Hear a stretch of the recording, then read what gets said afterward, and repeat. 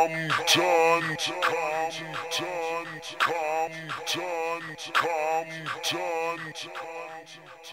Compton.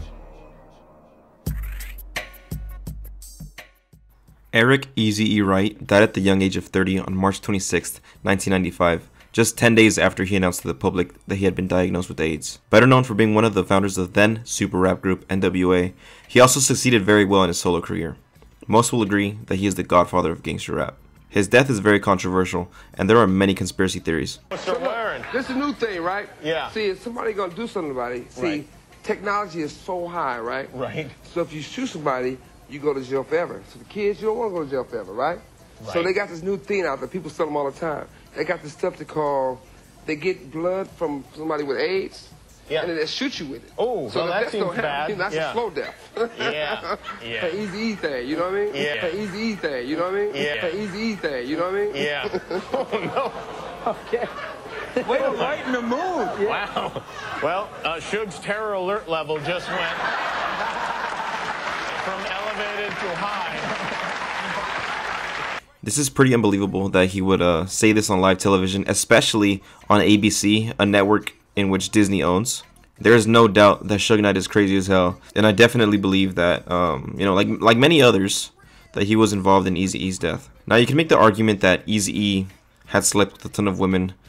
He's even said that he would never use a condom, but according to uh, Wishbone from Bone Thugs and Harmony, Me personally, I do as well because I mean, even to this day, none of his kids, none of his baby mamas, his mistresses, anybody, nobody has came up with HIV or nothing like that. So I mean, just just rationally thinking, some some had to go on.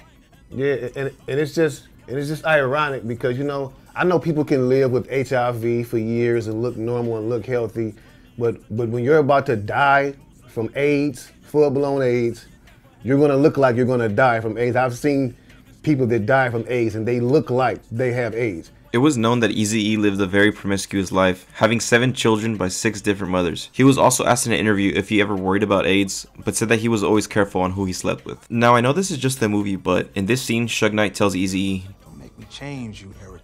Fuck's that supposed to mean? Keep talking. You're gonna fuck around and get smoked. and honestly that sounds pretty different than Don't Make Me Hurt You.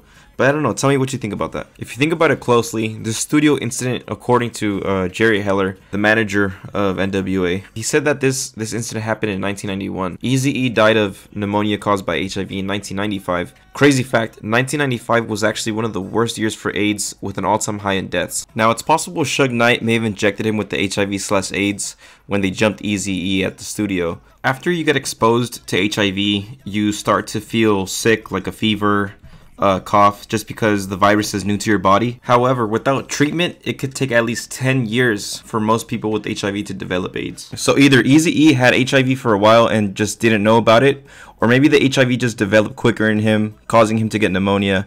Eazy-E had asthma, so that could be the case.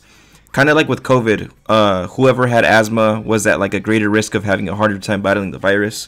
Maybe that was like the case with him. I don't know. I'm not a doctor, so this is just my this is just my theory, you know. But then again, if he did have it for a while and he didn't infect anybody with it, that's just strange. That's why everybody's kind of tripping out. Also, something that I noticed, um, back to the movie, uh, after the studio scene, every other scene with Eazy E, you could kind of see like his health start to deteriorate. Um, you see him like sniffling and coughing a lot, with the other characters being like, "Hey man, are you okay?" or something like that.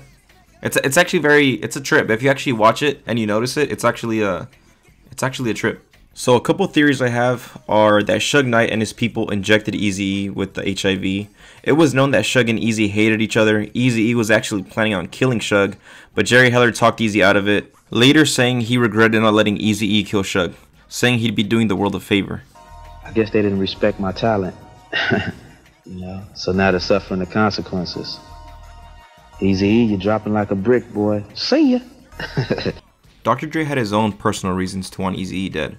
He's actually the one that set up Eazy-E and uh, Suge Knight at the studio. Dre wasn't happy with his contract. He wasn't happy with Jerry Heller, so he just wanted out. Eazy-E and Jerry Heller didn't want to release Dre, so that's why Suge stepped up and you know pretty much forced Eazy-E to sign to to pretty much release Dre from his contract so he could sign with Death Row. Another interesting thing is that on Snoop Dogg's 1993 Doggy Style album, there was a track in which Daz says, "Hey yo, what's up with them dudes that was on the TV dissing you?" Dre responds with, "Man, fuck them dudes. I ain't thinking about that old shit, man." Daz then says, "Bust the ass HIV pussy ass motherfuckers."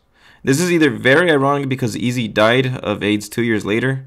I mean, unless they knew something, you know. And then another theory that I got is um, that the government did it. Now this one I, I don't I don't I don't believe this one too too much, but at one point you know the FBI was all over uh, NWA. You know they were the world's most dangerous group. You know music wise, obviously it was obvious that law enforcement didn't like NWA. They felt threatened, and who knows maybe they found a way to inject HIV into um, Eazy-E, kind of like the leader of the pack.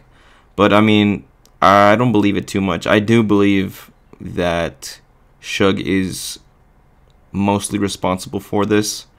But then again, it could honestly it could go either way. But I'm leaning towards um, Suge. But the reason I think Suge is just because he's been linked to a few deaths. You know, he ran somebody over and killed them on the set of uh, Straight Outta Compton. It's just weird, man. I don't know. He he held Vanilla Ice by the ankles off of like a fucking um, what is it? Off a balcony, dude. Like he he could have killed the guy.